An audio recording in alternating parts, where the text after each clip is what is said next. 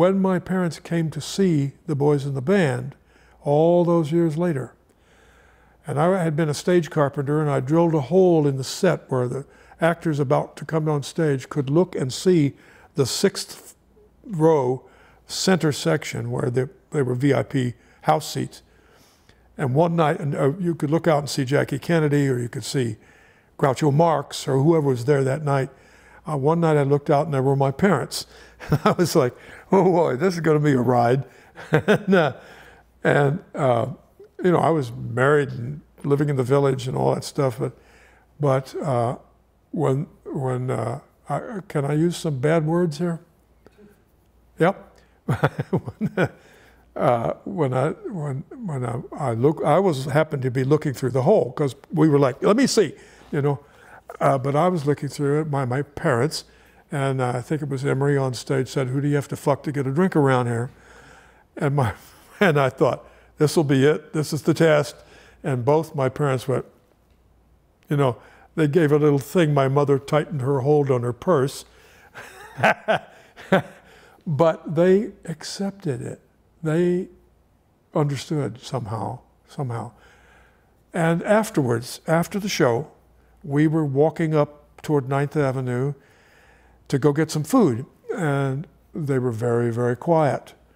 And we walked for at least a block and not a word.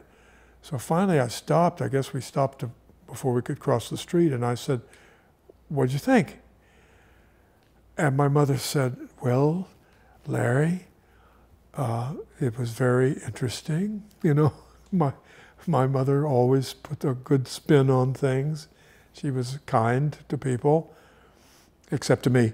No, no, no. She was, she was my big champion.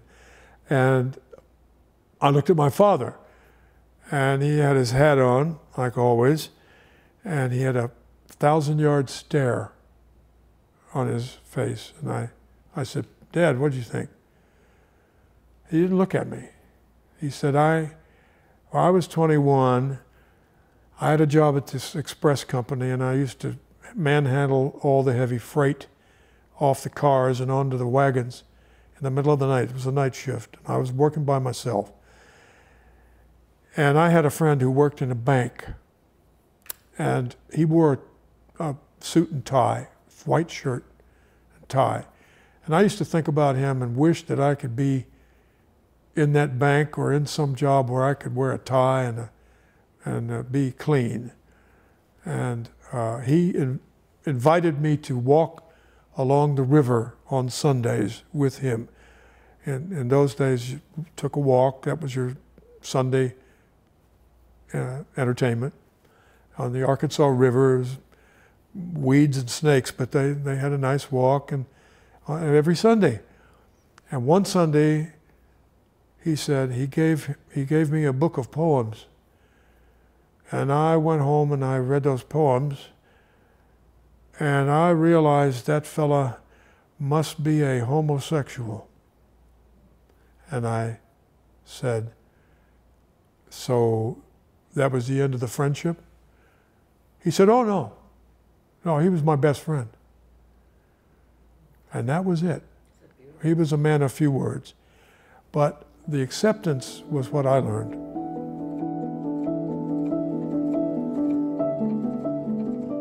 Life dealt me a little spin turn, and I took that part, which actually fit me like a well worn cardigan.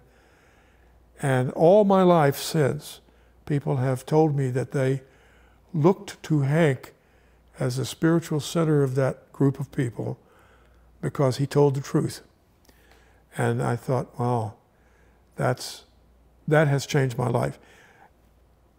It, I keep saying, and, and I don't know if it makes sense to people, when we opened that play, the closet door was opened, the ignition switch for gay liberation was a fact, because here were gay people finally able to see themselves and watch other people seeing them as they were and enjoying it and laughing.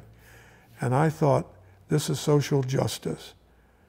This is why I came into this crazy profession that I do.